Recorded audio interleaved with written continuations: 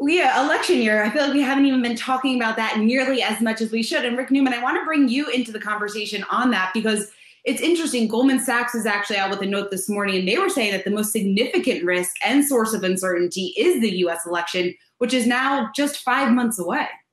Yeah, and the reason they're saying that is if Joe Biden wins, he has a different agenda than President Trump. He does want to raise some taxes, not everybody's, but he does want to raise uh, the corporate tax, for example, and taxes on the wealthy. However, that was his plan before the coronavirus. And I, I just find it unfathomable to think that any president, Republican, Democrat, or otherwise, is going to raise anybody's taxes in 2021 or 2022. I mean, remember, that has to go through Congress. And uh, Congress is not going to pass anything that's going to ha- harm the economy at all until it's clear we're out of this. So, um, you, know, Joe Biden's tax plan, um, maybe if he won in November and then he served a second term. Before that, I'm, I have trouble seeing it unless it's 2023 or 2024. We could just go to go back to China for a second. Um, I think markets were relieved. We saw markets shoot up after Trump's uh, short address on China.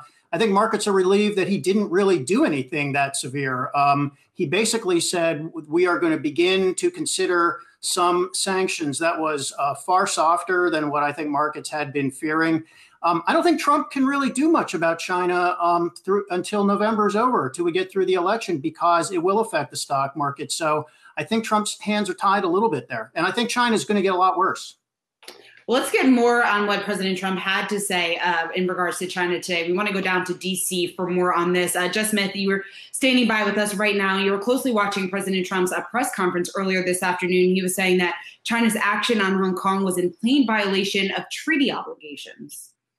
Right. And we actually just got some more details from the White House about one of the measures that the president announced this afternoon at this event where he spoke to reporters. He said that the U.S. would start suspending entry to some people from China who pose a national security risk. And now, according to this proclamation that we just got from the White House, it looks like that will apply to certain graduate students and researchers from China who have ties to the People's Liberation Army. So we'll still dig through this to learn a little bit more about that, but it looks like it will be effective on June 1st. Now, some of the other policy decisions that the president announced today, he said that in response to this national security law in China, um, he says he's asking his working group on financial markets to study the practices of some Chinese companies that are listed in the US. He says the goal is to protect American firms. He also says that he's taking steps to sanction certain Chinese officials. And he says, as Rick mentioned, that he would be taking steps to eliminate um, the special treatment that Hong Kong has. And again, he says this is because of the steps China is taking that um, are eroding Hong Kong's autonomy. Here's, here's more on how he explained this move.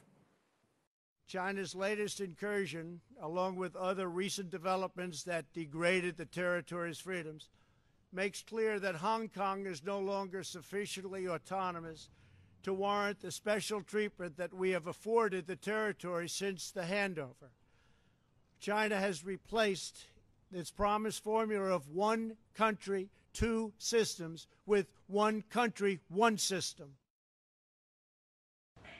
President Trump also spent some of the time this afternoon blaming the Chinese government for the pandemic. That is something we have heard from his supporters on Capitol Hill. He continued to say that today. And in response, he says that the U.S. is going to terminate its relationship with the World Health Organization. Um, so that was another headline that came out of that that event this afternoon. We are set to see the president in the next few minutes as he has another roundtable with industry executives. So if we hear any more about these plans in regards to China, we'll be sure to let you know. All right. Thank you, Jess. Hey, investors. Zack Guzman here. Are you interested in learning more about the markets and getting the latest financial news? Well, then click right here to subscribe to our Yahoo Finance YouTube channel. Get the latest up to the minute market analysis, big interviews in the world of finance, and information on how to manage your money every day wherever you are.